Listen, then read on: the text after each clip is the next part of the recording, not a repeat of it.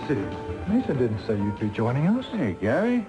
Uh, Megan, this is Gary Adams. He is Vice President of Foreign Operations for Capwell Enterprises. Megan Richardson. Hello. Nice to meet you. Thank you. You're meeting Mason, you said? Yes, and I certainly didn't plan on interrupting your evening, but uh, it's great to have everything back on track in Tokyo. Sure is.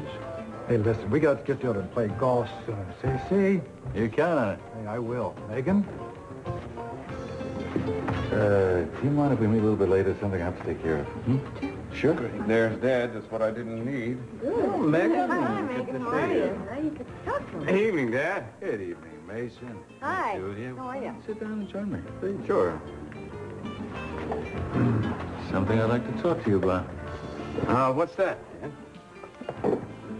I ran into Gary Adams. What exactly is happening in Tokyo? Well, what did he say?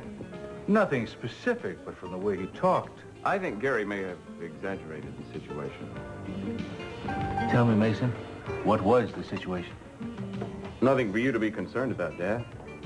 That's not what I want to hear, Mason. Why don't you tell your dad what he wants to hear, Mason? All right.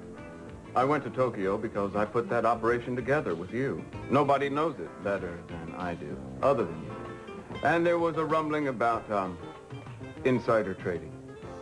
A rumbling, a security leak you're talking about? Yeah, but security, as it turns out, has never been tighter throughout the company. So it was just an overreaction, apparently. Was he aware of all this? Now, Kelly flew down to Acapulco to tell her. Kelly told me she was taking a few days off to fly down to Acapulco. Why is everybody lying to me? Nobody is lying to you, Dan. There was just no need to upset you.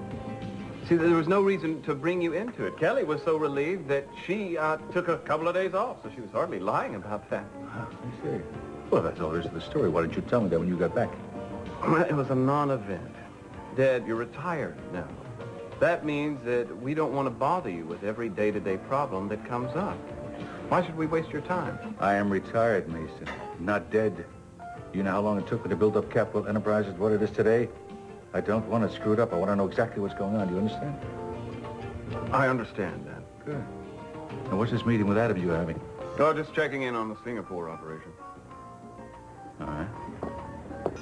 Don't keep any longer. Keep me informed. Yeah, I will, Dad. Junior? Bye-bye. Nice to see you. I don't believe you. Yes, I do. I just wish I didn't. I have an important meeting, Julia. Are you coming? Yes, dear.